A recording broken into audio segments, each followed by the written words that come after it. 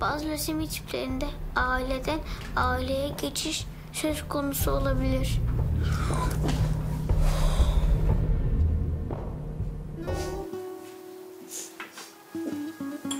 Fındık. Minik tuşum.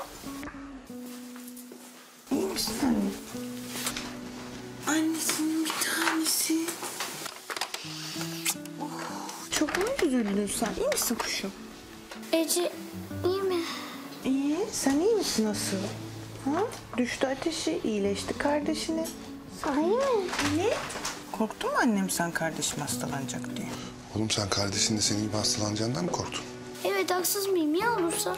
Anneciğim Allah Allah her ateşi yükseldiğinde öyle hasta olacak diye bir şey yok ki çocuk bu. Olmayacak diye bir şey de yok. Hem o sitede de yazıyor. Hastalık aile içinde bulaşırmış. Ailede hastalık geçiren birisi varsa başkasına da geçirebilirmiş. Ee yani? Yani kardeşim benim yüzümden lösemi olabilir. Hayır olmaz öyle şey. Nereden biliyorsun? Biliyorum. Biliyorum çünkü aynı yere ilk kere yıldırım düşmez oğlum. Evet baban doğru söylüyor. Olmaz on binde bir ihtimal. Ama diyelim ki oldu. Kardeşin lösemi oldu. Ne olacak o zaman peki? Ne olacak? İyileşecek anneciğim o da senin gibi. Sen nasıl iyileştiysen iyi olduysan o da iyi olacak. Tamam mı? Aynen öyle. Yani oğlum burada ben varım, anam var, sen varsın. Eşek başı mıyız biz? Kardeşin hastalansa iyileştiremeyeceğiz mi? Hem hayat böyle yani olmamış derdin tasasına düşerek geçmez. Böyle yaşanmaz. Anne kardeşime bir şey olmaz. Olmayacak kuşu. Olmayacak bir tane. İyileşti zaten. Ece Türk gibi ateşte düştü.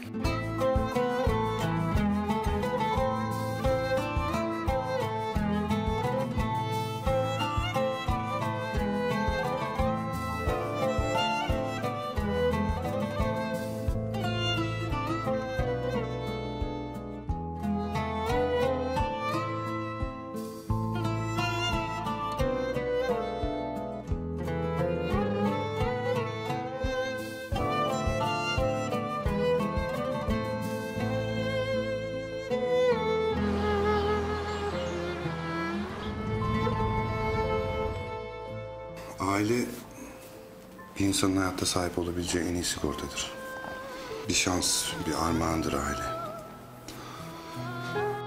Dünya üzerinde hiçbir sigorta şirketi bir felaket anında daha çabuk imdatınıza yetişemez ve size daha güvende hissettirtemez.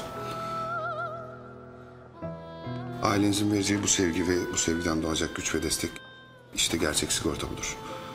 Aileniz yanınızdaysa keyfini çıkarın, gerisini bize bırakın. Önce ailenize, sonra bize güvenin.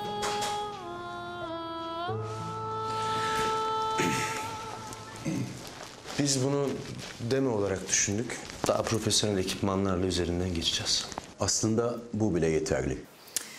Ali Bey dün gece uykusuz olmasına rağmen bizzat sunumu kendisi yapmak istedi. Biz tamamız. Elinize sağlık. Çok teşekkürler ediyoruz. Tebrik ederim Ali Bey. Pek güzel olmuş.